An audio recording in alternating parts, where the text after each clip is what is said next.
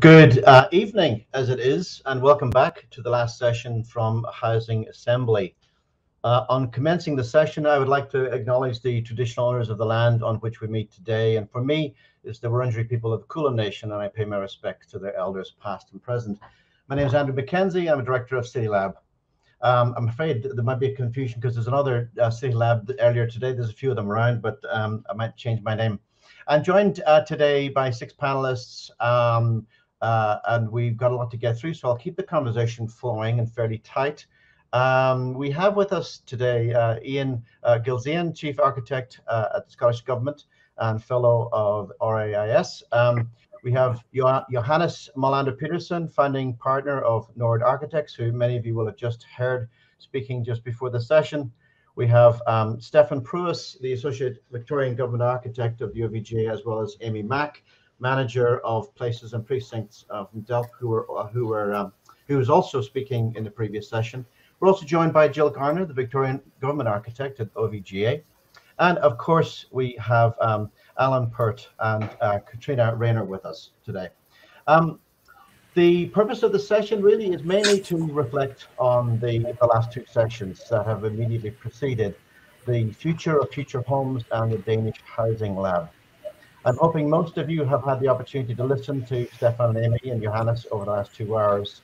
Um, and, um, and I suppose for full disclosure in relation, in relation to future homes, um, I, I, should note that I work closely with the team on, on, delivering the competition. So I may have a few questions that that that, that, that have some inside knowledge on that as well that we can talk through. Um, I'm excited to be uh, talking in the session with, with uh, certainly with Ian Gilzean from Scotland, um, uh, who's spoken earlier in the sessions, and Jill Garner, who, as government architect, lives and breathes a lot of the discussion uh, that we've been having uh, today in her daily work. Um, but as the uh, as the last session, at the tail end of this, we will be handing over to Alan Pert and Katrina Raynor to reflect on some of the major themes that have been woven through the day's presentations and discussions. So I'd like to kick off with um, Future Homes and and with um, Stefan and Amy. Um, this this housing initiative um, has a particular focus, obviously, on apartment design as opposed to individual homes or townhouses, etc. It also has a key focus on the middle suburbs. It joins uh, a range of other design competitions and discussions in Perth, in Brisbane, in Sydney, in many places focused on the middle suburbs. Clearly, the challenge of unlocking density is a national, if not an international, imperative. It's also very, very hard to do, particularly in Australia trying to find a way to redefine and retrofit the 19th and 20th century housing and urban aspirations of the middle suburbs to better meet the needs of the 21st century. Sometimes it feels almost in, intractable. So, could I ask Stefan and Amy first?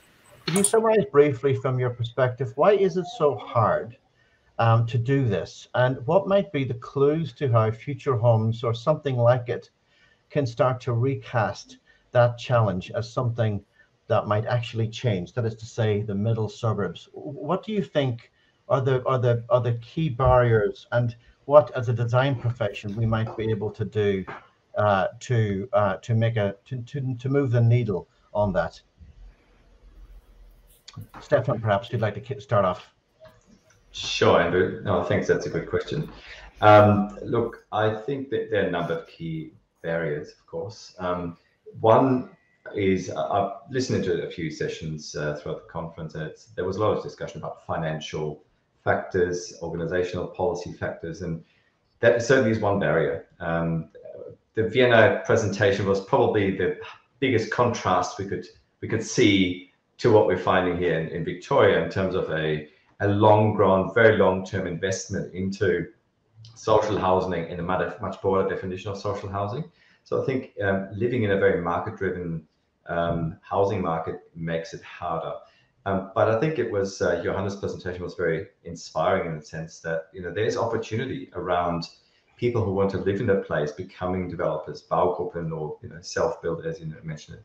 So I think um, that barrier of the market drivers can be turned into an opportunity, but it does take a bit of a change of approach as well.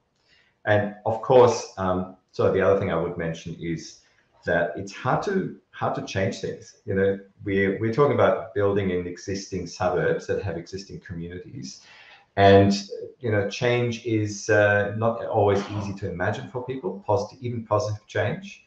Um, so, and you're dealing with a community that's there now, although we're building for the community of the future, but they don't have a voice yet. So I think there would be some key challenges. Yeah, yeah. Amy, from from DELWP's perspective, obviously one of the key controls we have over how our cities develop is planning. Um, and indeed some of the um, aspects that um, that kind of determine what may or may not happen are, are certainly planning considerations. Um, what are your thoughts around the role of planning and DELWP in relation to trying to open up the opportunities in the in the middle suburbs? Uh, what are the what are the possibilities? What can we what can we look to change? Mm, th- that's a really good question, Andrew, and that's one of the you know the main aspirations, the main goals of the Future Homes program. I mean, DELWP are working on lots of different pieces of reform work as we speak at the moment. You know, to get the economy up and going and to come out of this pandemic. But Future Homes, in particular, we're trying to um, make density not a dirty word in in the minds of a lot of people. We're trying to show people through these built projects, through building future homes demonstration projects, that density can be done well. And you can live next door to an apartment and you can still be afforded the same level of amenity as a resident living in the apartment, as well as as a resident living next door to the apartment. But you know, apartments are, are good things. Um, and through the work that we're doing at DELWP through changes to planning controls as part of the future homes process, we're hoping that this will be realised through you know the built form or the you know built projects that we'll, we'll be constructing.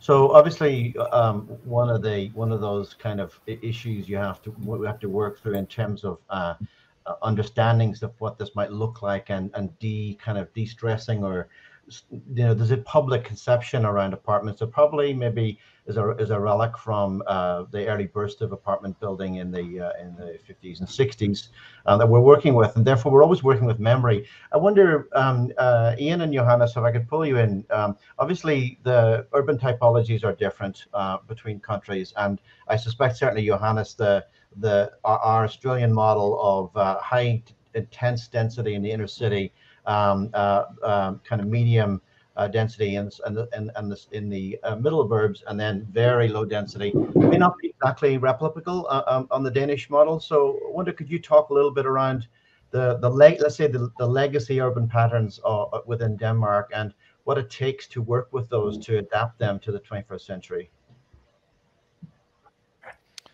Thank you. Um, yeah, I mean, what I agree that that uh, very two different contexts, uh, both of of uh, how development is is financially driven, uh, but also the sort of more urban texture and and and and and um, historical areas. But what what we see in Denmark here is it, it, a lot of the transformational areas, whether that is old uh, factory areas or harbor areas, we actually are uh, challenging our low skyline tradition. So so we actually are sort of getting high rises that are, are, are comparable uh, to to an Australian context in in in this larger cities, um, with creating a lot of, of, of debate here. But uh, uh, the debate is is more going on the, how how it addresses the social fabric of the of the city. And, and uh, I mean, after building like uh, ten of these high rises, then we had the first reports on how it affected the social life in the high rises and and uh, because we are so early in in in uh, in our uh, uh, exploration of this typology i think all, already now we will see uh, sort of a, innovation on the typology itself uh, towards more um, social interaction, mixed use in in these high-rise typologies. Um, and and um, so that's that's one tendency. Um, but but uh, for sure, we we we in in in Danish context uh, are, are, working with with the densification and and the the, the debate here is.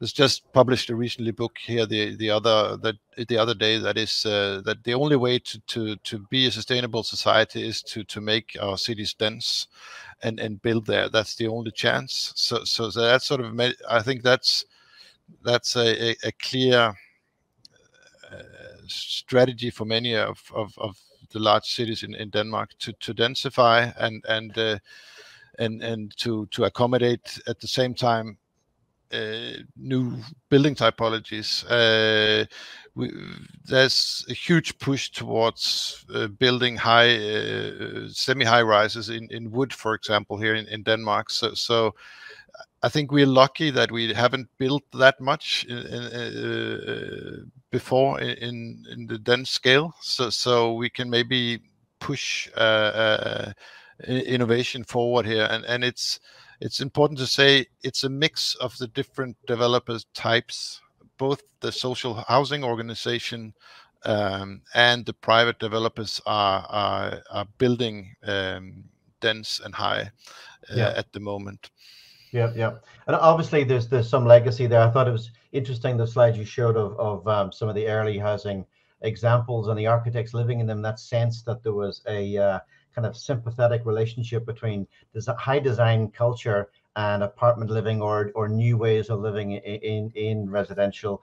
Um, Ian, I'm, I'm I'm interested in the, in how this plays out in the Scottish uh, uh, context, where probably I'd say, correct me if I'm wrong, but probably a lot of the um, early apartment designs were were public housing and and um, and and probably there was a, a connection to the legacy of public building that is, does that create some issues in terms of rein, you might say reinventing the 21st century um, residents as uh, as an aspirational, medium density, decarbonized, et cetera, et cetera.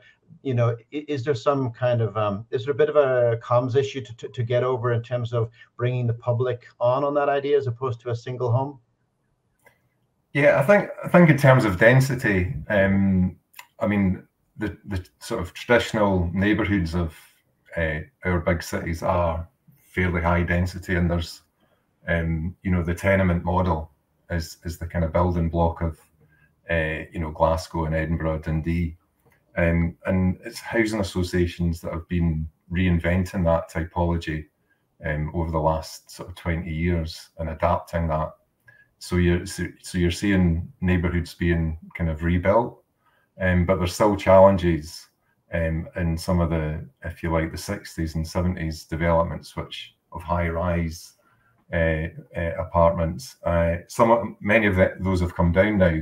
So, so those sort of neighbourhoods and communities are being redeveloped. And I've been working uh, in an area called Wester Hailes in Edinburgh, and we're now looking at a, a, kind of redevelopment of that area and thinking about that, the, the typology, the reinvention of typologies there. I think that the issue of low density is, is a kind of developer family housing model where you've seen people move either out of Edinburgh for affordability reasons or to the you know the the, the edge, the new build kind of extensions. So, um, but cities like Edinburgh are looking to, um, I suppose, challenge that kind of model and bring more family housing into the city. So, one of the key uh, development areas is in Granton, which is in the waterfront. So the idea of connect, reconnecting the waterfront and building family housing, a bit like what Johannes is talking about with the North Harbour, similar kind of uh, approaches being uh, taken there. But what, what you're trying to do there, I think, is balance density with livability um, and, and some of those kind of, you know, issues around, uh, you know, local, living well locally is, is the kind of phrase that we're looking at in terms of developing yeah. the right density, but also the kind of other features of livability, active travel, and so on. Of course, that that that um, that kind of attention to kind of family dwellings is that mainly uh, through public sector or private sector? Well, it, it's a, a mixture because you've got affordable housing being delivered in a similar model to Denmark through housing associations um, there's been a big push to build more affordable housing. So 50,000 in the last five years was a target. We've got a target of another um, 100,000 um, over the next uh, 10 years. So, um, so there's money being put in to support that, and that'll be a mixture of uh, family housing, uh, and it's really it's it's creating a, a market for uh, you know affordable housing. We've also introduced new mid-market rent to try and uh, bridge that gap between um, being able to buy a house and uh, not being uh, eligible for the affordable housing. So there's there's lots of different kind of financial mechanisms to support um, different market segments. I, I, guess, I guess I asked a question about the market because I know that certainly um, one of the emphasis on future homes was trying to create three bedroom homes and and, and plus um, trying to get away from the very much developer driven matrix of, of studios ones and twos um, so that they can be seen as more family uh, orientated. Could I ask uh, Amy and Stefan with the with the the first rollout, the Leanne project, has has that been has that been something that we've been able to hold on to the the the the the, the potential for some family living in in the mix as well? Yeah, absolutely. As part of the Homes Victoria demonstration project, there will be a mix of one, twos, and three bedroom dwellings. But I guess the difference with the Homes Victoria uh, proposal is they also need to cater to the, the people that are on the Victorian Housing Register. And so, whilst we in Future Homes have been able to hold on to the aspiration of um, family friendly living, Homes Victoria does need to do some slight tweaks to make sure that it not only matches the future homes aspirations, but matches the aspirations of the people that are on their waiting list as well. For sure, for sure. Uh, what, what sorry, and, and, what is interesting is that Homes Victoria actually own thousands of houses, you know, on these suburban lots. So, and uh, sometimes yes, the, those are downscaled uh, family units, uh, and but we are very conscious that if we can provide alternatives for families in denser living, then that can help free up those lots to to actually further redevelop those. Totally, totally. Jill, I'd like to kind of, um, I guess, uh, uh, talk about this, this the, the opportunity with Homes Victoria. Obviously, from the from the beginning of Future Homes, there was an early concern that the capacity for the guidelines to scale into the private sector had some significant hurdles. The you know the residual land value, which is to say making it stack up, was marginal. Um, but clearly, the big build now creates opportunities for the public sector to show real leadership and demonstrate what's possible. We we had Emma Appleton on an earlier session, and and while I do believe the stated commitment to innovation is real with Homes Victoria, you'd have to say that it's it's coming off a reasonably low base in, in terms of re recent decades. Uh, you've been involved quite a lot in the Homes Victoria kind of the, the big build kind of discussions and how to implement it and how design kind of uh, rolls into that. Could I ask you, uh, with the public role now so important to demonstrate new ways of thinking and leading the market, what are the pieces in the puzzle that need to come together for Homes Victoria to genuinely meet that challenge and to create opportunity for future homes from your perspective? Um, I, I might start with some commentary about, um, in a way, what we were battling with future homes because we've talked about um, the middle ring, and there's been some discussion today um, earlier in the the early morning sessions about that kind of um, development by stealth almost, you know, occupying backyards, layering existing housing with a new housing type. And it it has been really interesting to see how every seems to me every country in the world is battling housing at the moment and and the the kind of the need to provide a lot denser housing. So we're we're not just battling that kind of um, protectionism that we see in the middle ring and the state of some of the housing in the middle ring, which is some of it well past its use by date. But we're also battling that um, denser developments by stealth, which are, is the villa unit model that we started to see in the 60s and 70s that put, say, eight to 10 tiny little houses on a so site. and that, that was a very difficult of, um, thing to. that we see in the middle ring. Sorry, I've got some. Is that okay? Can I be heard now? All, all good, all good, all good. Oh, sorry. Okay. Um, and I guess, you know, this morning there was a discussion about how you don't have a site dominated by cars, and the villa unit is a great a, a great example where you might get 10 residents on a site, but you've also got 10 cars as a minimum, potentially more. So you do lose lose landscape, you lose deep planting. Um, then we do have that issue of of um, yeah, how do we how do we impact multi generational housing on a site? And how do we and what does denser look like? And we're not necessarily in our future housing, in our future homes proposition, we're not talking about the type of density that that you know goes into towers or anything. We're actually talking three story, which is when you kind of look at that in the suburbs, it's only one story higher than what we kind of already have in a lot of suburbs. So I think it's actually almost questionable. You know, that quest you asked that question uh, of um, Le- Leanne or, or George asked that question of Leanne, could this go to six stories? And the point is, six stories in my mind is good medium density.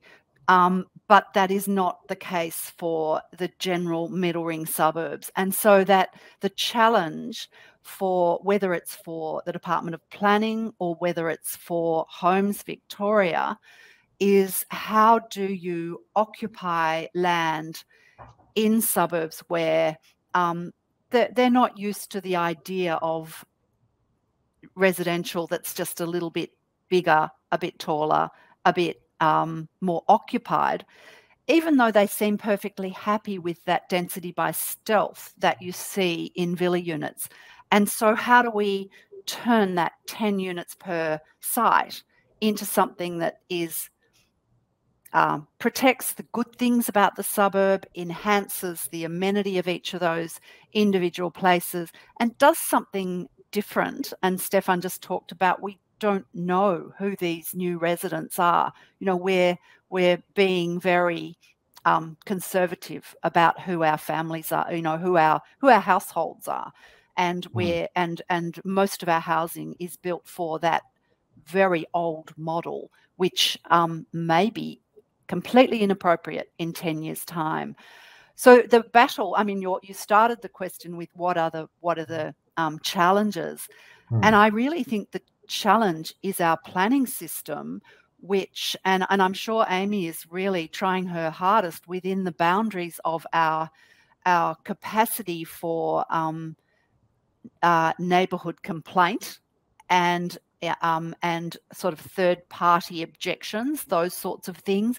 And there was an interesting discussion this morning in in LA, uh, in LA I think it was, um, about the idea of it being um, not something that people need to be terrified can be um, impact really poor development, that there's got to be some way of protecting good development to allow this to happen, but not mm-hmm. allow it to become a precedent for poor interpretation of density. Mm-hmm. I, wonder in this conversation around, um, I mean, I, I, guess following on from what you're saying about the, the, the challenges with planning, I suppose to take it the next level up, uh, use the use the other kind of tricky and ner- nervously go, head into this territory. But it is about politics, obviously, and it's about elections and it's about uh, electorates. Um, and with that, it makes me wonder about this other question around the scales of um, of decision making. And I know in Australia we frequently have this conversation that on the one hand we got local government and we got state government and we got federal government, but there's this other question around metropolitan government and whether there's a role for a scale at which something operates at the metropolitan level. I'm thinking, obviously, one example, the Greater London, uh, uh, uh the GLC, which for a long time pursued a very progressive attitude to, to housing. And it seemed to be somewhat have a different kind of relationship to the electorate somehow in the way it did what it did. I, wonder whether I could just throw to you, Johannes and Ian, to reflect on this idea about is there a relationship between the boldness with which um, decisions can be made in relation to planning, in relation to housing reform, that boldness and and the scale at which it is those decisions are made, and the relationship between that and let's just say electorates and politics. Is there a relationship that you could talk about? Alan. are, you, are you calling Alan for help here? I, I, can jump in. Um, maybe. I, I, mean, I think one of the things is that um, has happened in Scotland uh, is we've got a new housing strategy um, to 2040. So that that's been developed and was launched earlier this year. But we had two years of you know development of of the kind of ideas there. Um, and it's driven by you know looking to net zero So looking at how do we how do we achieve that, um, but how do we deliver a system that works? How do we deliver sustainable communities? So it's kind of dealing with you know all the big issues, but it's been done in, a, in such a way that because of the scale of Scotland, maybe unlike the UK, when we're developing that policy, we can work very closely with the housing associations, the local authorities who are also responsible for planning, to try and get a, a, a kind of um, a strategy that you know works for them as well, and so that it, it makes sense in terms of deliver delivery.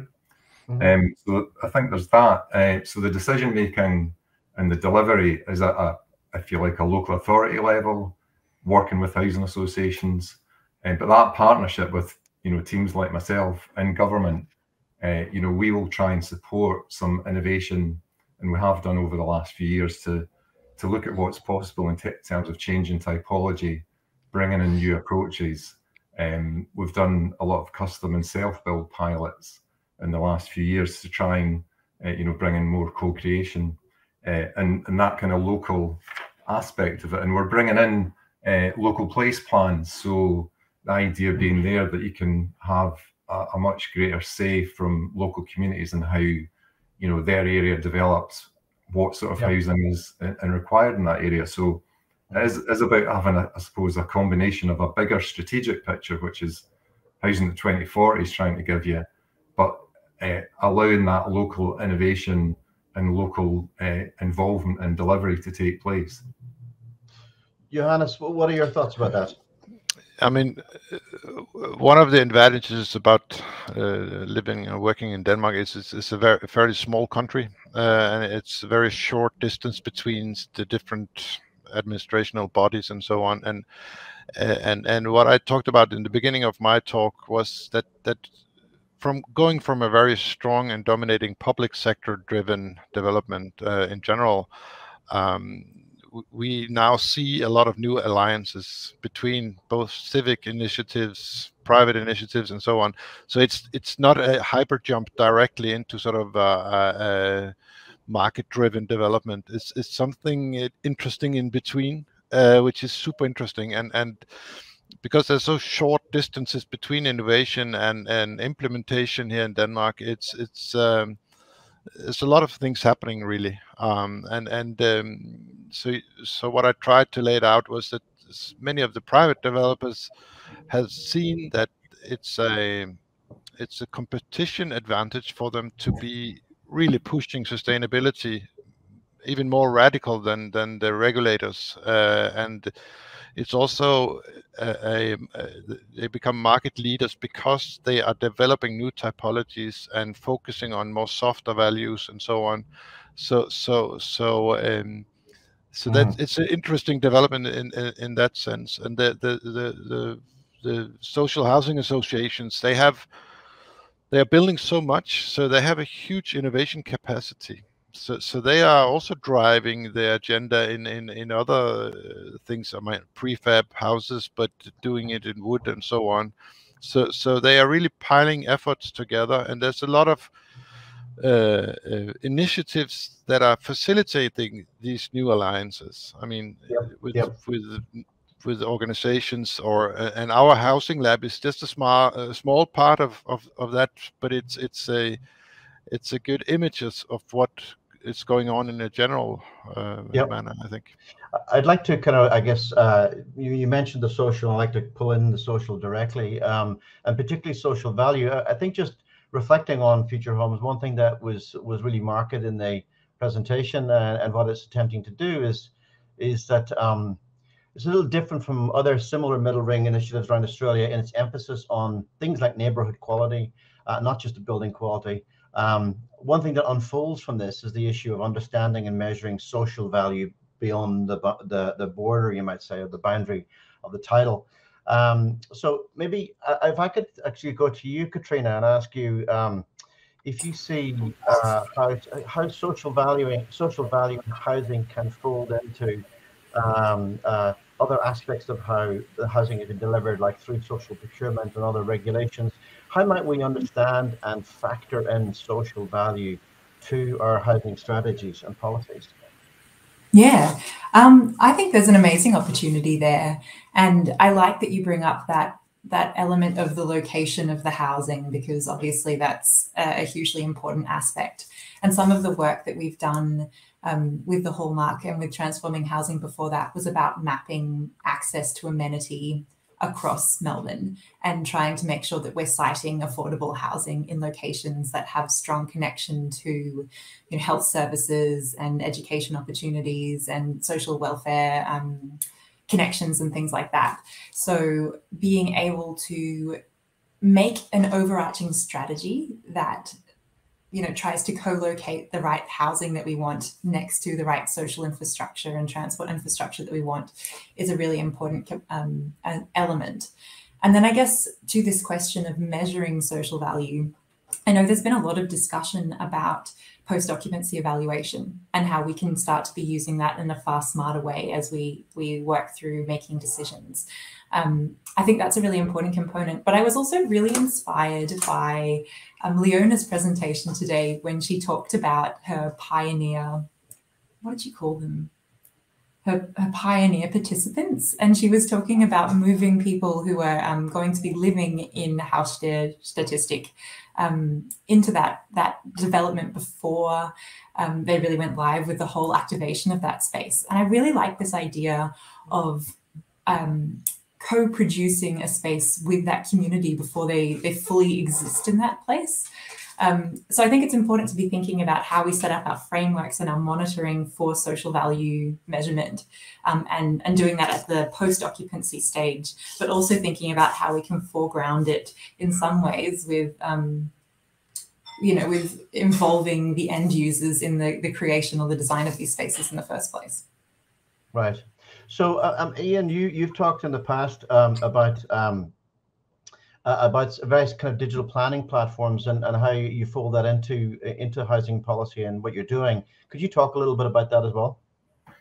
Yeah, we've just um, with uh, Scotland's uh, putting money into a digital planning strategy, so 35 million uh, into that. So, um, what we're trying to do is get the, I, I suppose, it's the the data and the mapping uh, the scenario testing uh, into the process so that you can can look at different options very easily, engage with communities on that, and also developers uh, looking at the kind of green infrastructure uh, mapping requirements, opportunities, brownfield land, um, so that I, I, think that leads on to kind of another um, way of linking that kind of, if you like, national and local, which um, you know, came came out in our program for government last year. And I know this happens in or has been looked at in Melbourne as 20 minute neighbourhoods. So thinking about housing and other services, a bit like what Yanis was saying about how do you bring those different silos together. So that's um, really taken off here in the last 12 months. The idea of thinking at a neighbourhood scale.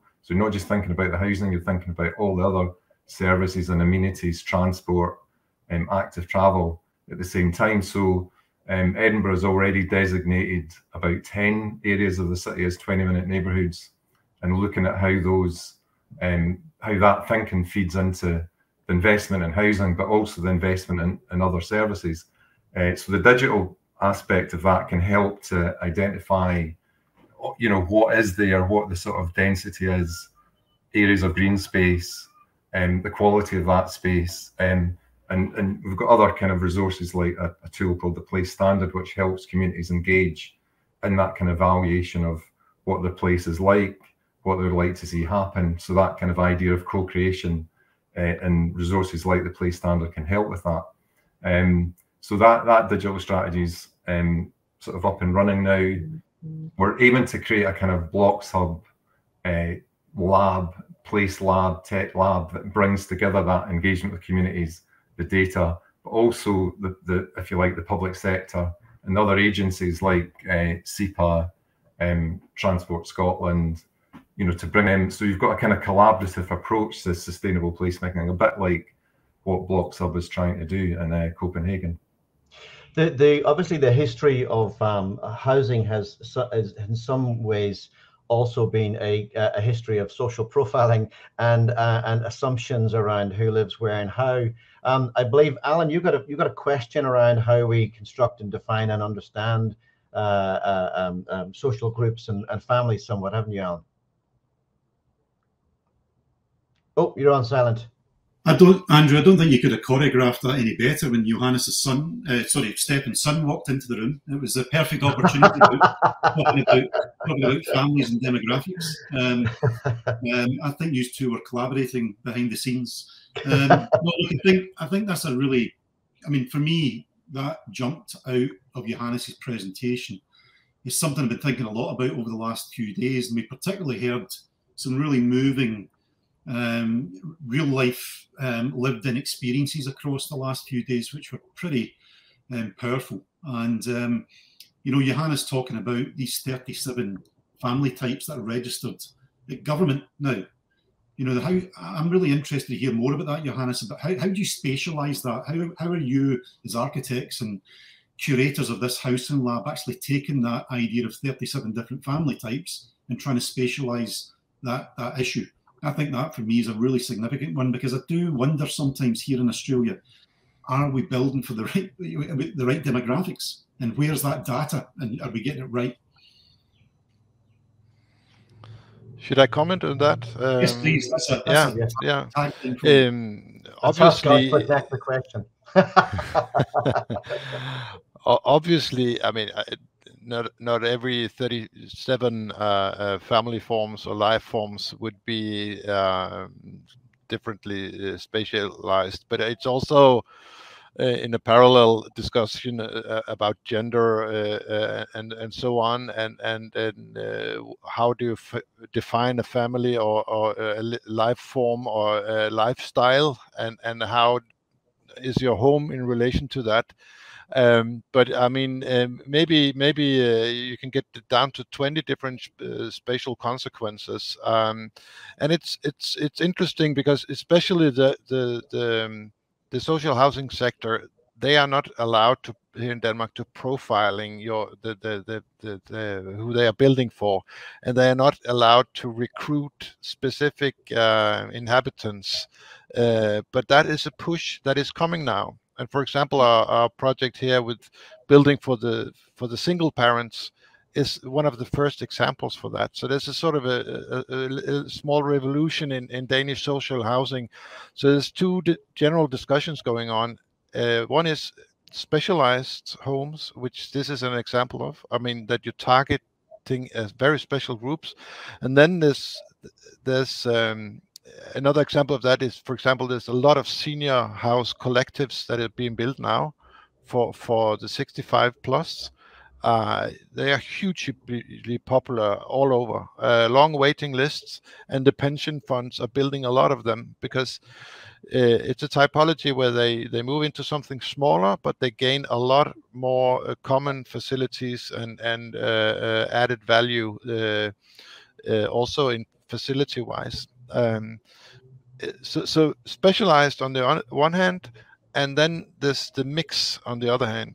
So, so there's a push for making intergenerational uh, living, and there's some really good examples already in Denmark where you mix students' housing, elderly care, family homes uh, in one building, and and again, what they gain from that is more common facilities. So they have a cafe, a gym, a, a lounge, everything, stuff that you would not normally have in an uh, apartment complex. Um, and and they meet in an informal way with with the elderly, destigmatizing that group and so on.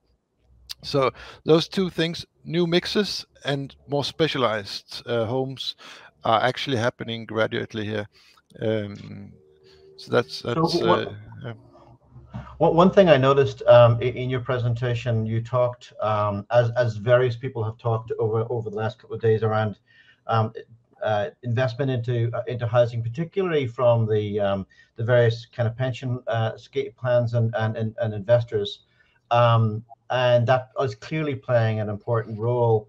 Um, I to, maybe, Jill, if I could ask you that uh, one of the perceived kind of uh, barriers to to more investment from the kind of from the institutional investors uh, kind of relates to to some extent on re, um, regulation and and kind of the, the, the wider system in which kind of housing is delivered, financed, and and um, developed. Um, is there a role for advocacy within the design uh, industries to to try and um, look at some of that regulation, to try and um, you know basically retrofit some of that so that the the uh, institutional investors can do a little bit more of what we can see coming through in in countries like Denmark and, and possibly in Scotland as well.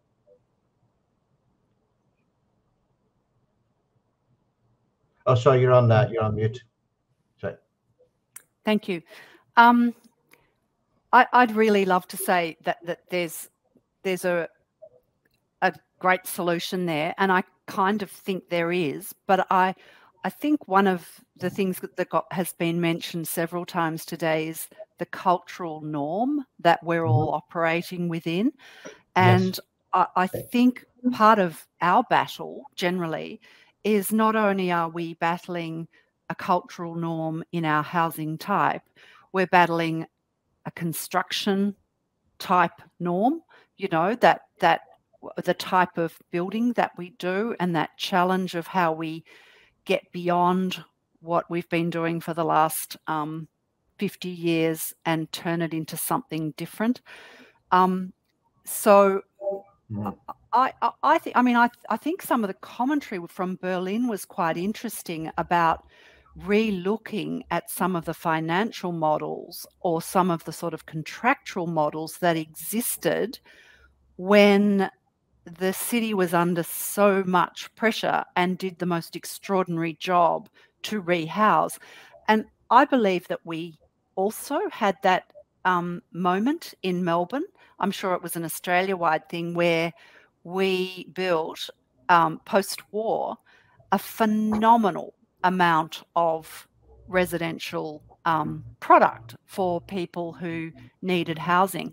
And I know that when the train system was put in and the our, what are now our inner ring suburbs were opened up on the train lines, that's where the, the, the land was opened up and but the type and, and I know that the way the banks supported the housing in terms of finance was extraordinary. So so ge- the generation from the you know who were building in the, the 50s and the 60s had the most extraordinary support financial support to do what they were doing. And there was a process um, you know stefan showed um, the small home service. The small home service was really built on a model where you bought your land separately for a for a very very reasonable price negotiated with the bank. And then for five pounds, you bought a house plan from the age.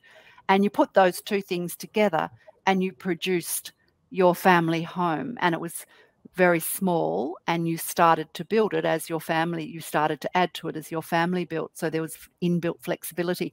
But it just seems to me that our, cult- our cultural shift in um, in money, in um, and the Nightingale team, you know, Jeremy talked about this. The biggest barrier for Nightingale has been money and banks and getting finance for those projects. So, uh, um, you know, I I think um, not not being va- even vaguely intelligent in terms of the economics of how we can support housing. I think there's just a, an amazing proposition there for someone to unlock that and someone who knows far more about it than me. And it, it is interesting that it is being unlocked in other places and possibly being unlocked because they haven't quite got the cultural problem that we've got or the cultural history that we've got. Yeah, yeah, yeah. yeah. Johannes, I think you you were going to say something there. Yeah, I mean, one of the things we do in the housing lab is, is that we, we have a sort of a systemic look uh, approach to it, and and uh, to several of our uh, housing workshops, we we've been inviting the financial sector and and the real estate sector and and the the, ah, the English word for those who sell uh, houses. Uh, agents. Um, yeah. Um, yeah. Yeah, agents. Um, uh, and and and um, especially within the in the self builder i mean to invent new uh, client roles and formats uh, which germany uh, has been really uh, doing for a long time, like like the Baugruppen uh, system, but but but that that you need to to involve the financial sector in that. So we were thinking of actually running a program, a competition for the financial sector to come up with new models for for for doing this. Um, and and I think to to to to involve them uh, in a progressive work here, and how how how can we create security for them? Is there a is there a governmental fund that are working with the middle financing of of uh, or how, how can we construct uh, it together so so uh, yeah and, and they are they are willing to to enter that discussion for sure because they see the outcome. Yeah. Yeah yeah yeah. And i think the the comments you made earlier about the the um your the, the kind of well, the welfare system that you came from and that changing and morphing and now the private sector having its role I think it's certainly we're probably coming from the other direction, perhaps, um, but uh, but certainly the inter interacting roles between the public and private sector has never been more important. But maybe one thing that just I know we're getting close on time, just so everyone knows, you will be getting out of here by eight o'clock, so you can have your Friday evening. But but there's one or two things to, to just to quickly go over before I hand it over to uh, Anna uh, Katrina. Um, one thing I'm interested in is uh, in this kind of public-private sector relationships is not even just so much the development of the buildings itself, but actually looking at supply chains and looking at materials and looking at how that kind of guaranteed supply chain that can come with large building projects like the big build in Victoria at the moment might be used to catalyze private industry in relation to material technologies. I know, for instance, in Victoria, the CLT and engineered timbers industry has a really hard time getting off the ground because the stability of supply is not there. Um, and so that's another kind of inflection to this relationship. I wonder, Stefan, um, in relation to uh, the future of future homes and where it might go, um, is there capacity to build this into the conversation as well, which is to say that the, as a as a uh, demonstration project, um, it could build in material innovation, which then plugged into industry and to the commercial world of, of, of, of material manufacture plug that into something like this this multi-billion dollar statewide big build. Is that there possibly? Look, the potential is definitely there. Um, if we don't do it now, I'm not sure it's ever going to happen. You know, we're now spending 5.3 billion dollars on on housing in Victoria in a very short period of time, and um, the designs for, for future homes, all of the designs have uh, offsite manufacturing in mind. And it's always encouraging to see examples from Scotland, Copenhagen, and so on. Offsite manufacturing is almost a given in a lot of the typologies, or you know, prefab timber, you know, high-rise, mid-rise uh, timber construction. Whereas unfortunately, we have a history in Victoria of doing a one-off innovation project and expecting everything from that one project. And we have to go beyond that. We have to create longevity. We need longitudinal studies. We need to learn from it. But it can only be unlocked if, if it is on scale. Um, so obviously from the OVGA, from the Government Architect's Office, we're trying to inspire those conversations and say these this potential is there because we're competing with a very greedy, I would almost like to say, market. You know, it is still too easy to build really poor developments, too dense, too little amenity, not you know, not with all these attributes that we've talked about. So it's an uneven field at the moment, and we need to equalize it on both sides. But at the same time, you know, create a pipeline for construction to come on board. And we know it, it's working in some other sectors, like schools. In schools, it's starting to work. So, so my very last question, I guess, maybe to throw to both uh, Ian uh, and Johannes. Um, it seems to me that conversation around supply chains and innovation dovetails directly into another whole other uh, aspect of, of government state policy, which is decarbonizing and environmental improvements, etc. Do you are you seeing in your work that that kind of capacity for state housing projects and hybrid housing projects to be the the, the catalyst to changes in supply chains and creating more sustainable supply chains?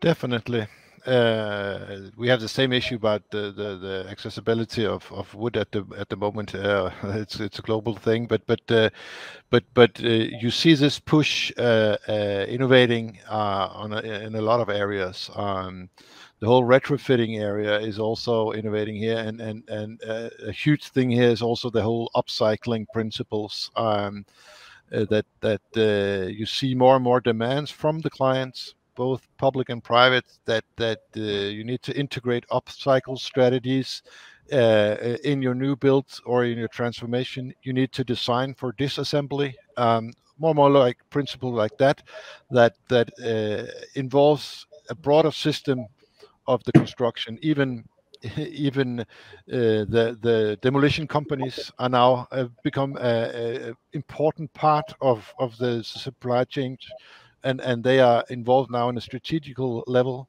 uh, because oh. uh, the, the, stuff that we take down uh, needs to be uh, reused and upcycled. So so they have a new role to play. So yeah. so the systemic view uh, on on all issues is. Um, is is just uh, a necessity and and has a huge potential. Yeah, yeah, for sure. And if I can, a quick plug, we have Maarten Gielen talking in a forum in a couple of days' time, precisely from Rotor in Belgium, Belgium, talking about the reuse of buildings and demolition being part of the story, particularly for our project um, Fitzroy Gasworks that they're looking at the moment. Ian, could I could I leave the last word to you? Yeah, yeah, no, I think the retrofit point is is really uh, crucial and and really important in Scotland, but that next wave of affordable housing, uh, we're, we're developing an off-site strategy to help deliver that, but deliver net zero ambitions as well. Um, so that's starting off with a, an Edinburgh Homes demonstrator, a thousand homes off-site. Anderson Bell Christie are developing the, the kind of typologies for that. Um, one of the interesting aspects that they're looking at is rather than go for a passive house recycled ventilation and looking to do that through natural means, but also 20% of the net zero target would come from uh, community uh, involvement. So building orchards, and you know, so looking at the 20% of it, looking at the whole site, the community gets involved in. 80% of the net zero target is from the offsite uh, construction itself. So, so it's quite quite an interesting uh, way of, if you like, getting the community involved in that whole idea about net zero. So it's not just all about what the, if you like, the individual house can uh, deliver. So we're trying to develop that. I think one of the key things on offsite was delivering the, the Games Village in Glasgow completely offsite, 700 homes, 700 days. So that started to build up the capacity. So we're looking at ways to, you know, continue that growth uh, in offsite. Super. Thanks, Ian. Look, I think uh, we'll, we'll, probably wrap up our, our, our, our, bit of a conversation there. I would like to say that um, uh, inspired choices from uh, from um, Alan and Katrina that over the last three days um, there have been kind of lots of challenges and lots of but lots of uh, optimism as, as, well. And I think it's really not, really great to finish this day with uh, with um, a, a, bunch of people who are looking at new demonstration projects, new ways of doing things, really pushing at the barriers. Uh, it's really exciting to see that. So with that, I'll, I'll hand over to um, Alan and Katrina to, to round off the session. Thanks, Andrew. Um, and um, yeah, huge thank you for the panel. Um, I mean, look, it's just fantastic to, to hear that Department of Env Environment, Land, Water and Planning, the OVGA, and we've heard so many times across the last few days about the role of future homes and big Hill. The fact that those departments and organisations are all collectively working together um, is hugely exciting. Um, where we can play a part in terms of academia, in terms of research, I think is a a really important opportunity and conversation, something I think is going to really um, be a, a, major positive outcome of this, this symposium.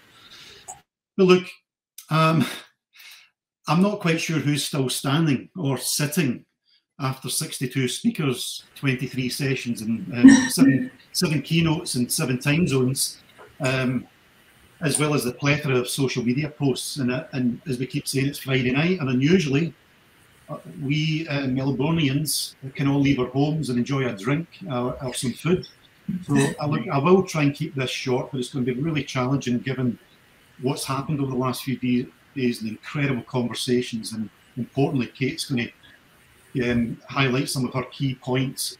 I would also like to say, look, for whoever is still left, please put in the chat any of your highlights, quotes, comments, mm-hmm. things that are a real standout we would like to collect him up and, and, and, and celebrate what's been heard over the last few days. So please use the chat function to do that. The other thing I would say is that we were very worried at the outset that everyone was so over Zoom life, online events. Um, we're going to be a huge struggle um, to engage a, a, an audience at this late stage um, in a kind of COVID context. But look, we sold out in day one. We had to increase the tickets. And I think this just highlights the interest in not just housing, but housing with social value. It really talks to, I think, how many people are invested in this is, is an issue. There was the danger we'd all get together and just complain for three days. That's not been the case, I think, as Andrew highlights. There is a lot of optimism and hope. We've heard this word hope so many times. We heard it in Berlin, we hear it and see it in Denmark, um, and I think we've heard it in all over the world. There's huge challenges, but I think there is some hope. There's a glimmer of light out there, and I think collectively, if we work together, we can start to crack this. The big housing build is one of those major opportunities. Importantly, governments don't always engage in these conversations. Um, I've, I've tried to do these things all over the UK, um, and um, sometimes it's hard to get government completely engaged in the conversation. I just want to thank Homes Victoria, DELWP, and the OVGA for sticking with us across three days. So many people from these organisations got involved and collaborated, and I, th I think that shows a commitment. Um, now, importantly, I'm not going to summarise everything that's happened in the three days. Um, it'd be too difficult to do that, and I feel as if I need to lie down for a few days to, to just collect my thoughts. But a couple of things I think that were really critical today. I mean, Kirsten, I think, made this comment in the 12:30 session, and we have we heard the, the challenges of building for everyone or building for no one, and I think it's a really important takeaway from that conversation. The other thing that was reinforced was this need um, for education to play an important role in all of this and removing the straitjacket, I think um, Andy Fergus mentioned, of our siloed and professionally accredited disciplines. A really important point, and I think we're all grappling with this in every institution, is about how do we take full advantage of some of that disciplinary expertise and depth, but how do we actually break down some of those disciplinary barriers? Importantly, I want to go back to day one and Ben Rimmer CEO of Homes Victoria, taking time out to talk about that 10 year strategy for Victoria. And it was great to see the progress that has been made in such a short space of time. Arguably, it's only nine months since the board were established.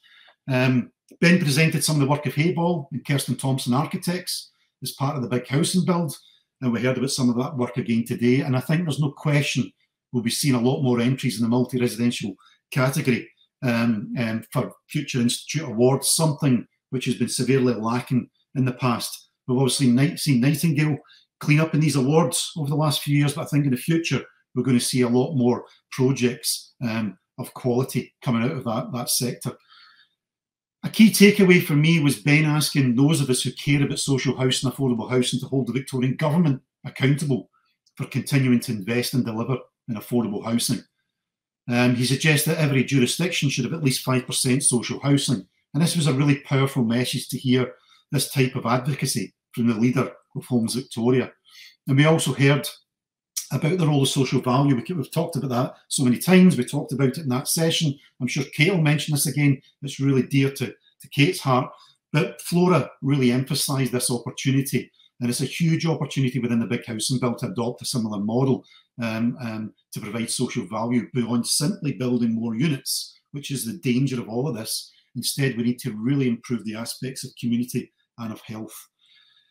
Hal Pawson in day one also asked us to consider what kind of housing system do we really want? And we can continue to prioritise a system that grows great wealth for some or one that prioritises housing for all. I know what we all want, um, um, but Hal, I think, reiterated you can't have both, and he asked us to make a choice. But straight after this, I think Brendan Coates probably um, touched, um, was really tugging on all of our coattails and our heartstrings when he gave us a solution when talking about the 20 billion social um, housing future fund as an example and an idea. Uh, I'd love to hear more about this. Um, his modelling showed that the dividends and investment could fund 3,000 new units a year or 54,000 new units by 2030. Staggering numbers. And if all states get involved, it could mean another 100,000 by 2040. Importantly, this for me captures the mood of the three days. Had plenty to complain about, as I said, um, but we left hugely optimistic. There are ways out of this crisis, and there's clearly a social as well as an imperative um, when we consider the health implications. When we consider the lived experience so powerfully conveyed by Sarah on day one, who after de decades of insecure housing now has a, a permanent apartment to live in um, for forever um, we were all left asking ourselves, how do we really get from personal stories through to policy and change. Now, I'm going to, Kate will be sitting here thinking, when are you letting me out of, out of this? Um, but look, I want to just talk about the end of day one with that presentation from Eva Vienna with the four pillars of social sustainability, architecture, economy and ecology, um, which they've been operating since the 1980s. Now, while Vienna's 100-year legacy of investment into public housing would be near impossible to replicate, we can learn a lot, I think, from their active land policy, new public management practices. And we also heard, heard about the role of research and the role of development competitions like Future Homes. Importantly, we learned that IBAs serve the space for experimentation. And for everybody out there that knows how much I'm invested in the idea of an IBA, um, then you will not be surprised that I'm going to be really push this hard. I think there's some major opportunities for us to really upscale the, the future homes competition um, and really look at the opportunity for an IBA and a whole series of demonst demonstration projects at scale. It'll really help us to push change and it'll really help us to challenge some of these preconceptions around demographic modelling. Um, and importantly, we heard a lot about construction um, and, and zero carbon. I could go on and on and on, but I think I'll hand over to Kate to maybe talk a bit more about day two and other highlights for her before I make that massive list of thank yous. Kate. All right, thank you, Alan. Um, I'm going to do my highlights really quickly because, as we've said, Melbourne is now able to go out and party, and so you know, we don't want to keep you too long. So I have five takeaways, and I'm sure that there are other things, but these are the things that have been percolating in my brain for the last three days. Um, and the first one is um, nothing about us without us. And um, Alan just touched on this, but I think one key theme has been the importance of centering voices of lived experience.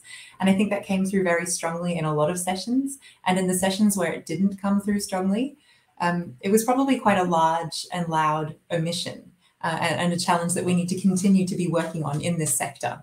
Um, because I think that design, regulation, policy, and delivery that doesn't foreground lived experience is really impoverished by not including that element. Um, and when we do do design well and policy well that is responsive, um, it supports agency and autonomy and dignity. And, and that's really fundamental to the social value of housing to me. So, number one, nothing about us without us, and um, foregrounding the voices of lived experience. Uh, number two is this dichotomy of assets versus homes. Um, and Saskia Sassen, you know, started with this provocation and this this argument that we're living in a more and more brutal epoch, um, where homes are transformed into assets.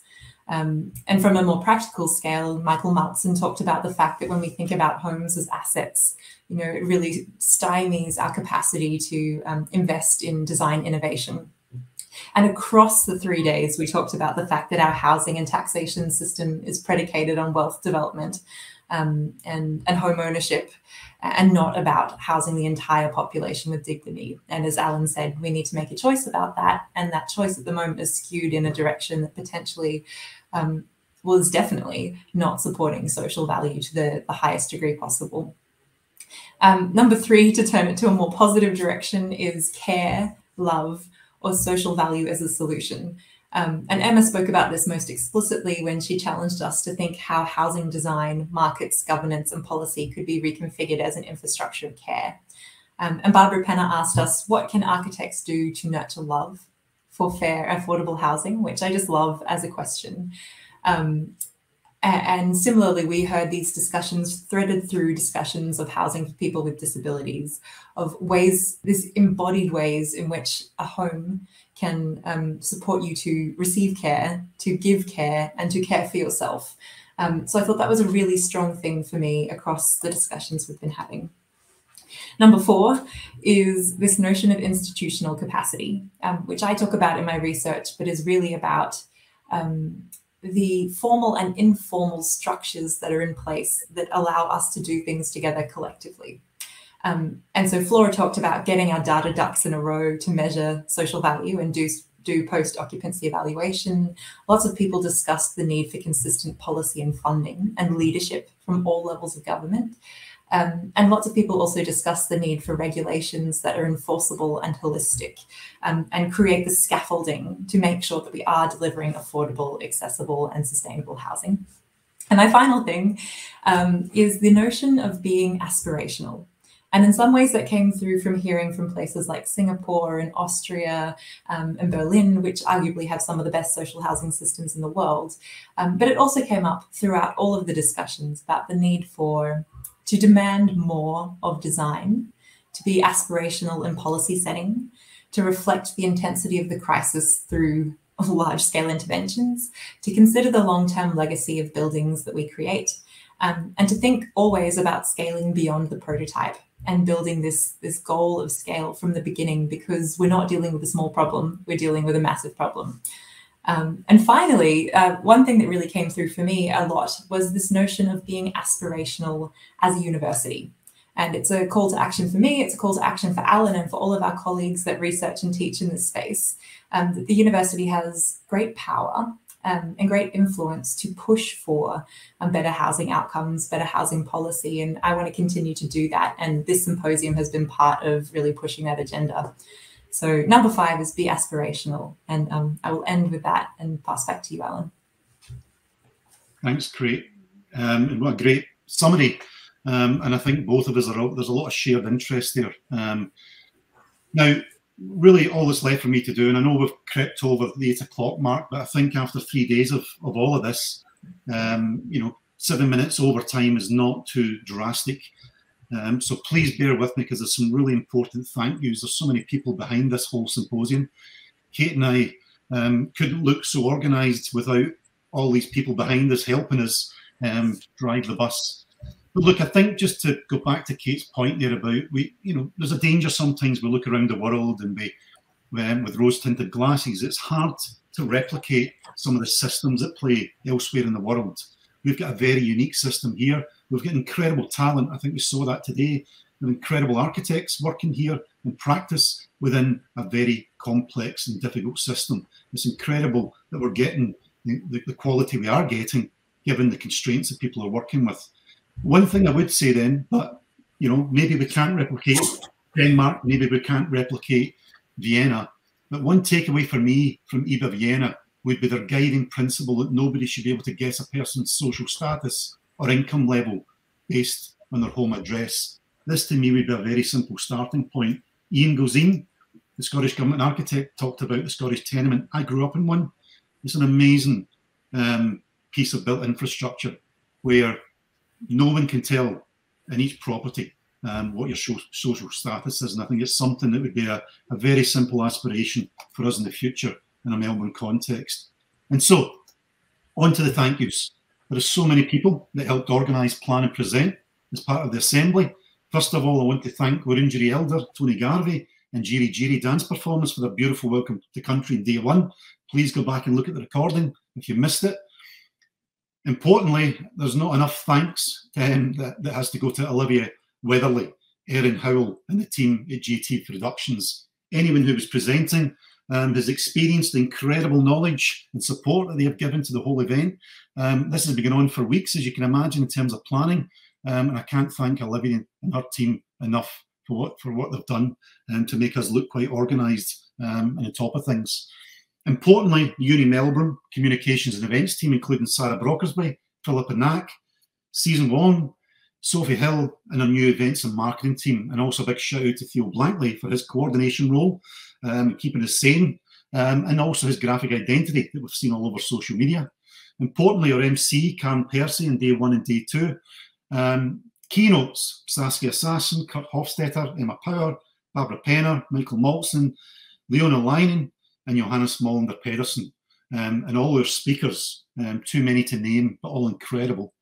The lived experience experts who generously shared their stories with us, including Sarah, Sina, and Jonathan Bredlin. The Victorian Government, I've mentioned you a lot, but importantly, with a great engagement from all departments. Ben Rimmer, CEO, Claire Stacey, Manager in Social Housing Reform, Luke Bosher, Executive Director of Strategy, Partnerships and Governance, and Emma Appleton, Director of Portfolio De Development and future projects and future planning. Amy Mak from DELWP, Manager of Places and Precincts, Stefan Preuss um, from OVGA, Matthew Borg, Jack Davis, Cara Wiseman, um, and Jill Garner, who joined us for that last session. And importantly, Zara, our amazing graphic illustrator, who's going to give us plenty of content for our website and then Kate might show the reel at the end of this. The Auslan interpreters, um, um, Parlour, Pavilion, who are important um, um, collaborator on today's events, the AIA, um, Archi, Archi team, and Housing All Australians for their support, and importantly, um, the Hallmark Research Initiative for Affordable Housing, all of our board members, um, and importantly, our advisory board. Um, and um, finally, um, I want to thank each and every staff member from the faculty, and importantly, all the other institutions. Monash played a big part in this. I want to acknowledge the IBA Melbourne team, who've been a, a continuous support um, to us over the last few years. And we'll be making an announcement quite soon about the next stages of IBA Melbourne. The big question, what's next? Well, I think a drinks first, and maybe a publication's been talked about, and then Kate will hate me for this, but maybe Housing Assembly number two. I don't know. Anyway, thank you all.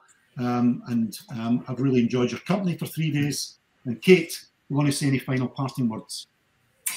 I think that summarizes it all. I should say thank you to you, Alan, for being um, such a fun co-curator and uh, the the driving force behind all of this, and also the torture person who made us do twelve hours straight of content today. um, but it's been it's been a pleasure. Thanks, Kate. Well, um, it's a very strange situation because I would normally now go to the bar, um, um, but um, anyway, enjoy your evening, and we'll see you soon. Right.